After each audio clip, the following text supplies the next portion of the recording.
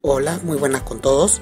Esperemos de que este domingo 30 de julio a las 10 y 30 de la mañana estén alentando el partido entre Deportivo Municipal y Sporting Cristal, correspondiente a la cuarta fecha del hexagonal final de la Liga Femenina Apuesta Total 2023.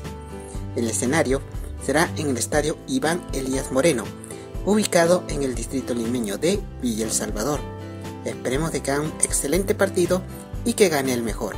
Mucha suerte para ambos equipos. Muchas gracias.